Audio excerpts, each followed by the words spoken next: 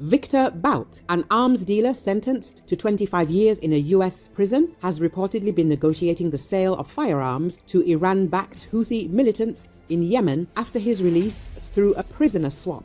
The Wall Street Journal reported this, citing a European security official and other sources familiar with the matter. Bout, often referred to as the Merchant of Death, was released nearly two years ago following a high profile prisoner exchange between the US and Russia. According to the Wall Street Journal sources, Bout has since established contact with Iranian backed Houthi militants in Yemen and is negotiating a deal to sell small arms, including AK 74 rifles valued at 10 million US dollars. While in prison, Bout had a portrait of Russian President Vladimir Putin on his cell wall and expressed strong support for Russia's invasion of Ukraine. His release in December 2022 came after a swap with American basketball player Brittney Griner, who had been convicted in Russia for alleged drug possession. Since his release, Bout has frequently appeared on Russian television offering commentary on Russian politics and criticism of the US. Russian media often cite him as an expert on arms trading, when Houthi emissaries went to Moscow in August to negotiate the purchase of 10 million US dollars worth of automatic weapons, they encountered a familiar face, the mustachioed Bout. Wall Street Journal reports. According to Wall Street Journal sources, the negotiations centered on the supply of AK 74 rifles, with additional discussions about the sale of Kornet anti tank systems, and anti aircraft weapons. These arms deliveries could reportedly begin in October, disguised as shipments of food products to the port of Hodeidah, where Russia has already delivered grain.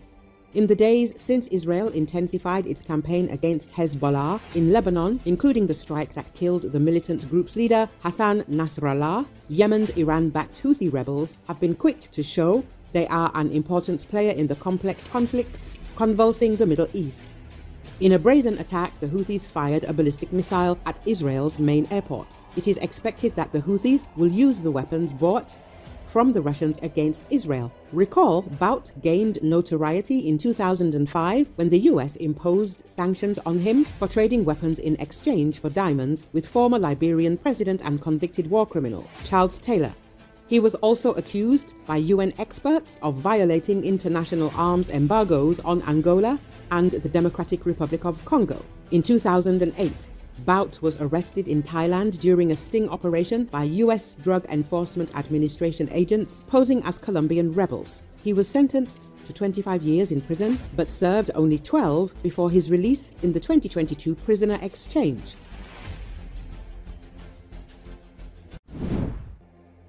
The aggression in the rhetoric of the Putin regime is growing. Deputy Chairman of the Russian Security Council, the second person in the state, Dmitry Medvedev, has unleashed a new portion of threats and insults against unfriendly countries and their leaders. The post was published on his official Telegram channel. Medvedev spoke harshly about Latvia. He called the country non existent and also wished its president, Rinkevics, serious injuries. The president of the non existent country, Latvia, broke his arm. Too bad it wasn't his neck. We're waiting, wrote a representative of Putin's regime. In addition, he supported the scandalous idea of the president of the Russian Skiing Federation, Elena Vyalbe, to launch a missile strike on the center of London so that Russian athletes would be allowed to participate in international competitions. That's right, of course, but we need to solve the problem at its root and immediately sink the damned island of the Anglo Saxons, Medvedev wrote. He also couldn't resist insulting Ukrainian President Volodymyr Zelensky, who announced some important decisions at the upcoming Ramstein meeting. Apparently, these words of the Ukrainian leader greatly alarmed the Kremlin. Medvedev has not forgotten the signature theme nuclear threats. He threatens to hand over tactical nuclear weapons to Belarus and to set fire in Kiev. Even Russian Z channels are openly laughing at Medvedev's new batch of threats. In particular, the ultra right blogger Alex Parker Returns spoke out. He was outraged that the deputy chairman of the Russian Security Council is threatening to protect Belarus from Ukraine, while a significant part of Russia's territory in the Kursk region remains under the control of the Ukrainian armed forces. I'm embarrassed to ask But who should Russia turn to in order to use tactical nuclear weapons against the Ukrainians on the grounds that the war has already been transferred to the Kursk region? wrote an angry ultra patriot. Recall Estonia, Latvia, Lithuania, and Poland will seek EU funding to build a network of bunkers, barriers, distribution lines, and military warehouses along their borders with Russia and Belarus.